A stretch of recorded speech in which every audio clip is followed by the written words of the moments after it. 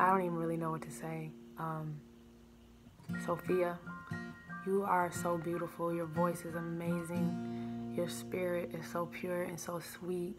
I don't know where you live, but I just wanted to say thank you. You are the first person to ever cover church. I'm just like flipping out right now. I mean, I wrote this song in my room and I never even thought I would release it and for someone to cover it and sing it in a way that just made me see that you meant what you were saying and you understood what I was saying. So thank you, thank you, thank you. I would love to see more covers of church. Hashtag church challenge. I love y'all so much, man. This has made me so happy. Went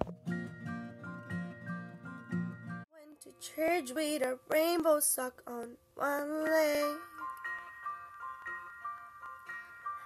I a pastor, please don't put oil on my forehead. Cause I will break out and get pimples all on my face.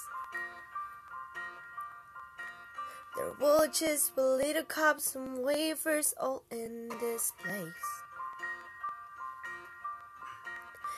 I used to belong here.